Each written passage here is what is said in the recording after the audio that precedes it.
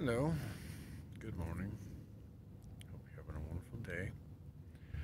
I know I look completely different at this moment. Like, I went back in time a couple years, right? I got some dragonflies flying around. They're so cool. Anyway, um, what was I going to talk about? well, I got tired of the beard. Looked like Neo after he got spit out of the battery tree, right? Got flushed down the tube. Except I got no attachments in the back that I know of. But I mean, it was 12:30 last time. I'm like, I can't stand this beard. It's just itching me. So I'm like, screw it. So I went down to the Chevron and across the street. There's a little um, little shop where you buy, you know, stuff like that, pictures, and magnets and stuff. I found a plug to plug to shave to use my electric trimmer. Looks like a coyote spit up a rabbit, but you know, hey, it, good lord, yeah, I'm just not used to hair. That was just me letting it go for a minute. That's not what I want to talk about. I want to talk about Groundhog's Day. I watched it last night. Of course, it was broken up into pieces on YouTube, but it still worked. I love the movie, and it was a holiday movie, and it's always on TV when you're watching TV. I don't watch TV anymore, but except for this, kind of. but it was on, and it, I had an epiphany when I was watching it. You know, every time that movie just gets me because this guy is going through it, right? He starts this arrogant prick who just has no sense of self worth or anybody else's worth, and just going through it being a rude prick, right? And he goes through it slowly, slowly goes through it. And of course, falls in love with somebody and they want nothing to do with him, and it's just complete rejection. And I thought about that. It's the ultimate Dark Night movie of the soul, because it is. He lives a thousand lifetimes to get it right, you know? And that's kind of what reincarnation is. It's basically a Groundhog's Day, except instead of living the same day over and over, you're living different lifetimes. Which I, personally, I, I thought about, I was like, how lucky is he and he doesn't realize it? But the woman he's in love with, he gets to wake up every day and still be in the same town with her. You know, he's always going to have contact with her. So, of course, he realizes that too. But yeah, I just love that movie. Yeah. Bill Murray, though, he's so amazing. Like I said, he's, yeah, he's, yeah, he's the man. I love Bill Murray. Um, where the Buffalo Roam, another great movie, his older one, a little more chaotic, but it was Hunter S. Thompson. But yeah, that whole elephant clown thing, that that movie just yeah, yeah, I love you, Bill, but damn. Anyways, moving on.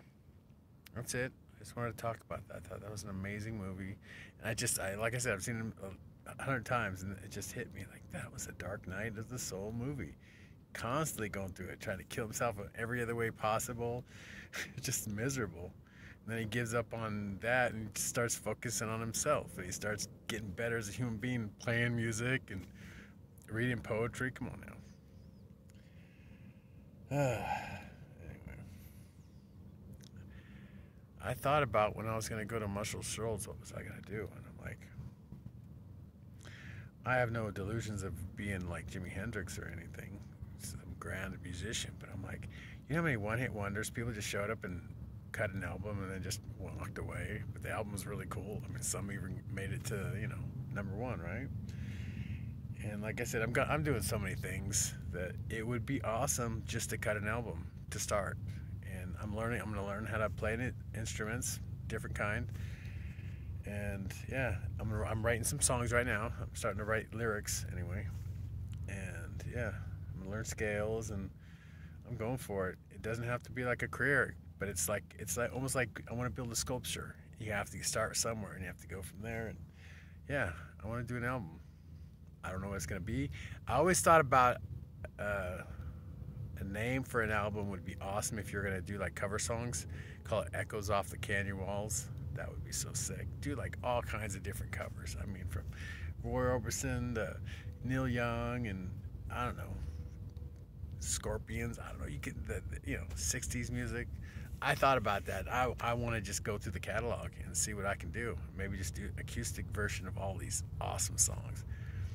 I mean, everybody when they start playing music, they always start as a cover band, right?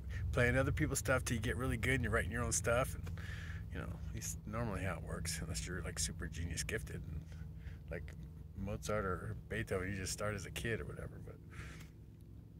Anyway, yeah. So I thought that might be an interesting goal. So I'm not like you know, I'm not shooting for delusions of grandeur, like, you know, I'm to be like a blues star and all that stuff. Just cut an album and see what happens, babe, and walk away, you know, if that's it. I also thought about the Mississippi River and, and all the waterways around there. I, I was a boat captain for a minute, even had my license. That'd be interesting. That was another story for another time, right?